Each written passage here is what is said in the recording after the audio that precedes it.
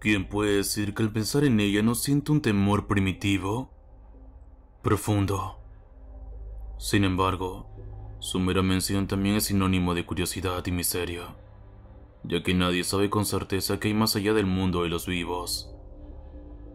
Pero hay algo que sí sabemos, y es el hecho de que, tarde o temprano, la muerte vendrá a buscarnos y no tendremos más remedio que acompañarla. Pero ¿cuándo y cómo nos llevará? Esas dudas nos intrigan y nos angustian desde que somos conscientes de nuestro propio fin, y ya nunca nos abandonan. Curiosamente, esta historia nos presenta un caso que va en contra de las reglas de la vida. Se trata de la experiencia de Juan, un hombre uruguayo del departamento de Paysandú, que recibió un mensaje que nadie esperaría recibir. Un mensaje muy preciso, que contenía el día y la hora exacta en que la muerte vendrá a buscarlo. El humano siempre se ha sentido atraído por el futuro por tener algún dato acerca de lo que le pasará en el amor, los negocios, la fortuna. De ahí que la figura del vidente sea tan venerada por muchas personas y, en ocasiones, estos visionarios sean considerados prácticamente seres divinos. Tal es el caso del famoso Nostradamus. Pero, ¿qué ocurre si la información que obtenemos de nuestro futuro es la que por nada del mundo querríamos saber? Eso le sucedió a mediados de la década del 70 a Juan, un hombre que trabajaba en la fábrica de cerveza norteña, una empresa sanducera que hace algunos años dejó de funcionar. Juan cumplía turnos rotativos, por lo que realizaba su jornada laboral de mañana, de tarde o de noche. Cuando aquello terrible ocurrió, aquel día, le tocaba entrar en el horario nocturno más precisamente a las 3 de la madrugada. Esa noche, Juan salió de su casa hacia la fábrica cervecera, como tantas veces lo había hecho, y comenzó a caminar las seis cuadras que lo separaban de la empresa. Él sabía que el último tramo del camino era el más sombrío, dado que los árboles que custodiaban los costados del sendero casi no dejaban pasar la luz de la luna a esa hora de la madrugada pero por alguna razón, aquella penumbra se había tornado más inquietante que nunca. Alguien estaba con él. Juan tenía la seguridad de que alguien lo acompañaba, y esa extraña sensación fue aumentada hasta que no soportó más y decidió darse vuelta. Se tranquilizó cuando descubrió que el camino por el que venía estaba vacío, que no había nadie a sus espaldas. Sin embargo, cuando se giró la cabeza para retomar su andar hacia la planta laboral, lo vio. Había un monje, o al menos eso parecía. Era una figura vestida con una larga túnica negra y una capucha que impedía que se viera el rostro. Juan quedó aterrado por el aura siniestra de aquella silueta. Sin embargo, más miedo sintió cuando escuchó el anuncio que le hizo.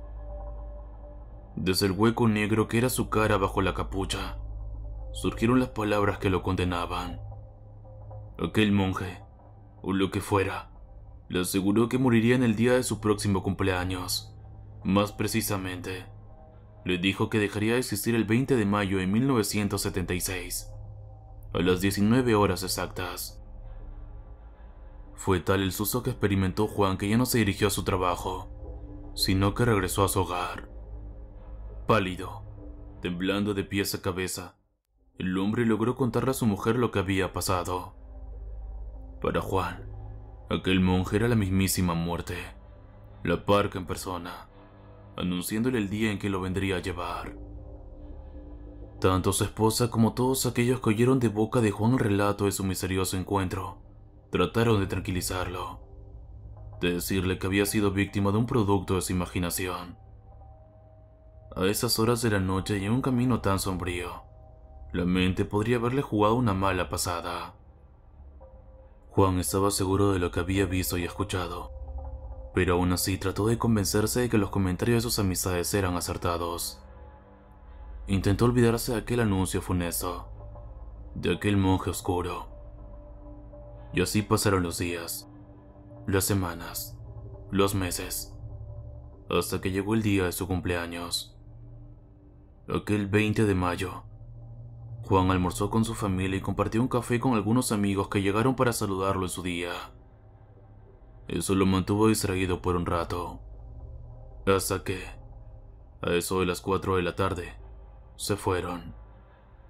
En ese momento comenzó a recordar la sentencia de muerte vaticinada por aquel extraño monje. Fue allí cuando sacó cuentas y se percató de que faltaban solo tres horas para las 7 de la noche. Hora marcada como la hora de su muerte. Juan sentía cómo su corazón se aceleraba y los pensamientos se arremolinaban en su cabeza, imaginando las diferentes formas en las que la muerte podría presentarse.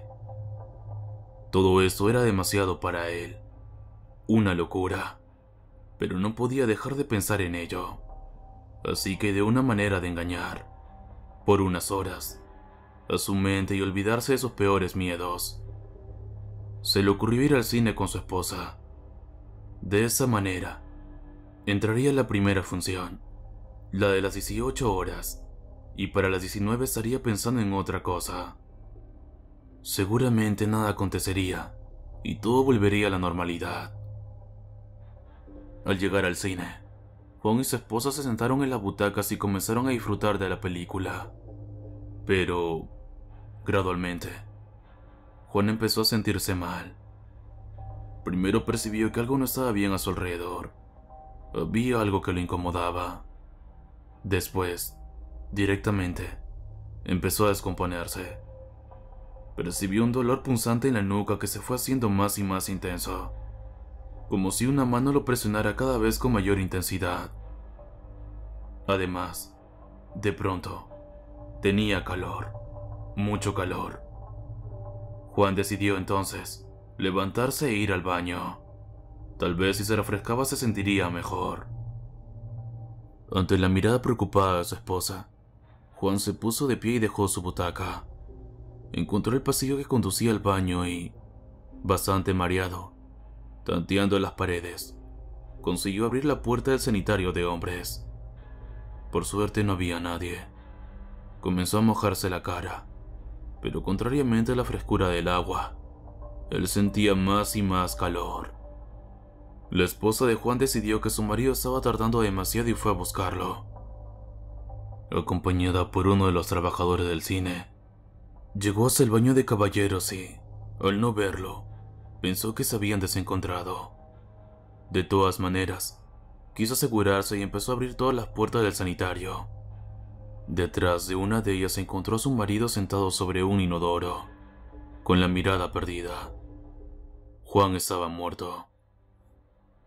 Los médicos que examinaron el cadáver concluyeron que aquel 20 de mayo de 1976, Juan había muerto por un paro cardíaco y en el acta de función constó la hora de su fallecimiento. Las 19 horas en punto, tal como la muerte vestida de monje se le anunció. La familia de Juan piensa que la muerte cumplió con su palabra, que ella misma se presentó el día de su cumpleaños, a la hora indicada, para llevárselo, tal como aquel siniestro personaje había manifestado. Lástima que no le creyeron en su momento Tal vez, de haberlo hecho, de haberse tomado más en serio el relato de Juan, sus familiares podrían haber evitado tan terrible desenlace. ¿Casualidad o causalidad? Un eterno debate, así como aquel que mantiene la vida y la muerte mientras dura nuestra existencia. Debemos prestar atención, porque cualquiera de nosotros puede ser el próximo que reciba un aviso como el de Cisoria un anuncio que conoce muy bien las voces anónimas.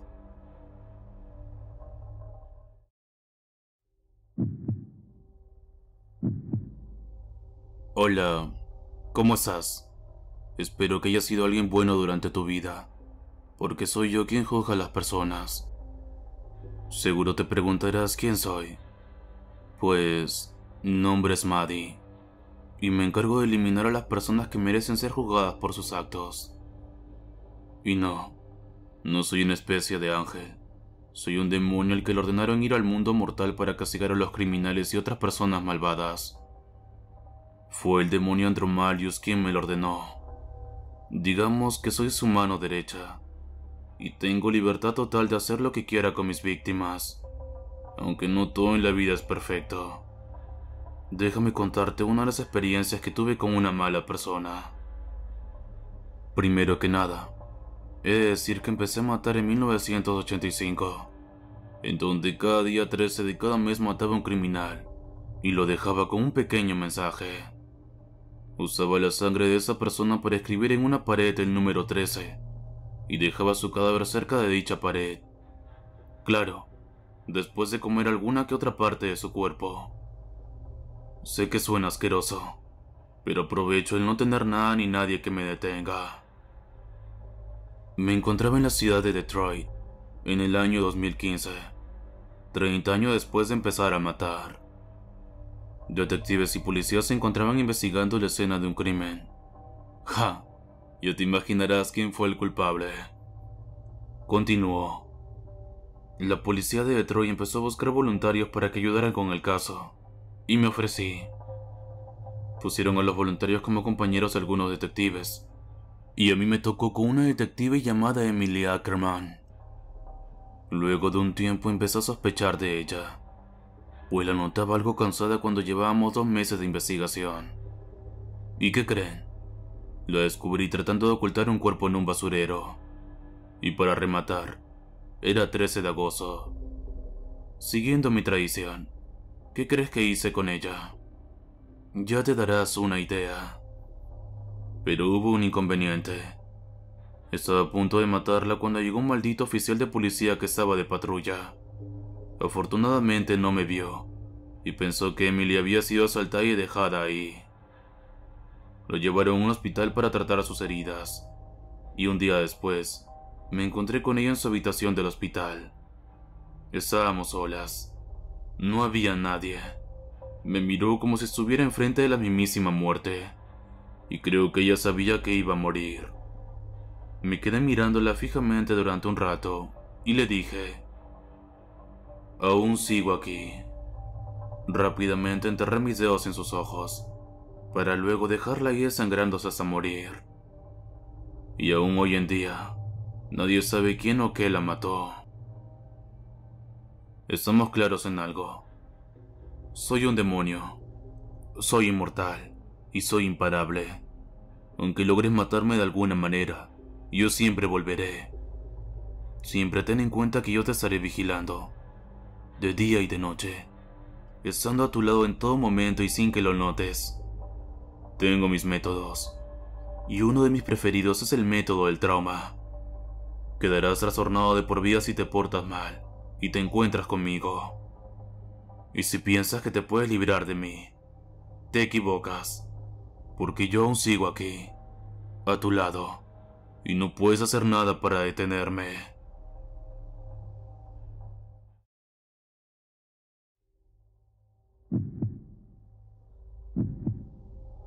Una madre decidió hacer un paseo por su antiguo vecindario donde aún se encontraba la vieja casa en la cual ella creció, llena de hermosos recuerdos y anécdotas que quería contarles a sus dos pequeños hijos gemelos, un varón y una niña de apenas unos años, así que los llevó consigo.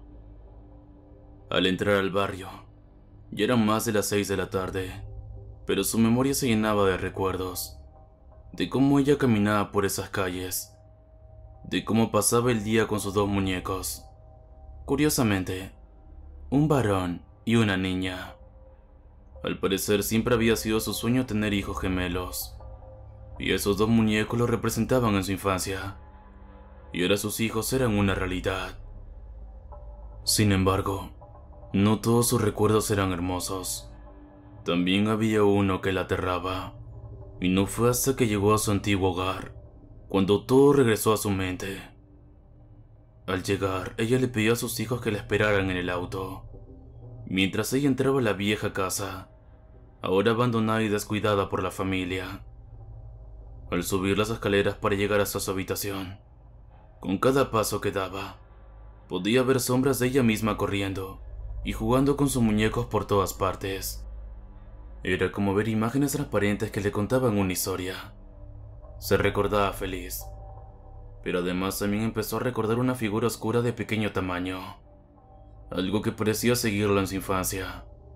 Parecía ser otra niña más o menos de su misma edad, pero alguien que no existía porque ella era hija única. Esa figura misteriosa tenía la costumbre de esconderle sus muñecos. Era como si ella también quisiese jugar, pero al ver que la madre, siendo una niña muy recelosa de sus cosas, no le gustaba, comenzó a volverse violenta, a mover las cosas, a golpearla y hasta darle pesadillas. Tanto así que un día estando ella sola en casa jugando con sus muñecos, esa figura, la cual pudo determinar que era otra niña como ella, la sacó del cuarto con una gran fuerza, haciéndola dejar sus dos muñecos solos. Para cuando logró entrar de vuelta, los dos muñecos habían desaparecido. Nunca más los volvió a ver, ni a ellos ni a la sombra. Y así creció, y su familia se fue de aquel lugar.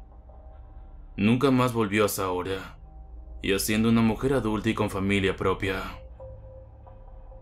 Al recordar eso la puso un poco incómoda y algo nerviosa. No era normal haber vivido eso. Así que retrocedió para salir de su vieja habitación y regresar a buscar a sus dos hijos. Al salir del cuarto, le pareció ver aquella vieja sombra, pero fue como ver un relámpago. Tan solo pasó frente a ella, y ya no era tan pequeña como antes. Esta vez podía ser de su mismo tamaño, y eso le heló la sangre y se apresuró a bajar. Y al llegar a la sala, allí en el suelo estaban aquellos dos muñecos que perdió en la infancia. Misteriosamente los había dejado allí para que los recuperara. Visiblemente estaban muy maltratados. Estaban rotos, desgarrados, como si en vez de manos hubieran sido navajas las que los cuidaron todo ese tiempo. Incluso uno no tenía cabeza, y al otro le faltaban los ojos. La madre se agachó para recogerlos, asombrada y aterrada por lo que veía. Pero al levantarlos había una nota escrita con una letra muy fea y extraña como si fuera una persona con problemas para comunicarse, o alguien que jamás escribió antes. Pero la madre pudo leer lo que decía. Gracias por dejarme jugar con ellos. La madre dejó caer los muñecos y la nota de la impresión, y por fin reaccionó para salir de aquel lugar. Solo que levantar su cabeza. Afuera, cerca de su auto donde estaban sus hijos, su verdadera pareja de gemelos. Ahí estaba la figura siniestra, que ya no era una niña. Ahora parecía ser también una adulta. Era como si se manifestara exactamente igual a la atormentada madre, que aunque corrió con todas sus fuerzas para llegar hacia el auto junto a sus hijos, al abrir la puerta, solo encontró otra nota que decía, ¿Puedo ahora jugar con ellos? La madre buscó por todas partes, pero nunca encontró a sus hijos así que solo le queda sufrir por su pérdida, y su error en regresar para revivir recuerdos. Aprendió que a veces es mejor dejar ciertas cosas en el olvido, aunque lo más seguro es que alguna vez le devuelvan a sus hijos cuando ya no se pueda jugar con ellos, tal vez en el mismo estado en el que le devolvieron sus viejos muñecos.